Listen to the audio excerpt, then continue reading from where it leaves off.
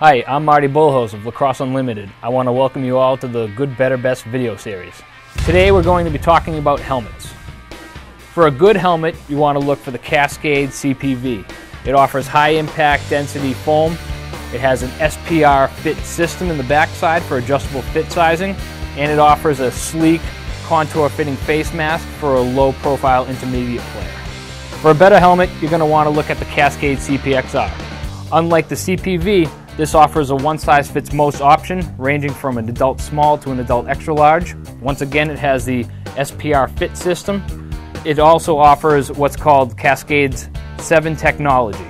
It has a honeycomb interior, unlike a high density foam, that is 30% more impact resistant than a high density foam. For the best helmet, you're going to want to look at the Cascade Pro 7. What this offers is a fully integrated visor and shell to absorb more impact. Once again, offers Cascade 7 technology, 30% stronger than your average foam, and it is also a one-size-fits-all model ranging from an adult small to an adult extra large. We hope that the Good, Better, Best video series helps guide you in the right direction in selecting your lacrosse equipment for the upcoming season. For all your lacrosse needs, visit lacrosseunlimited.com.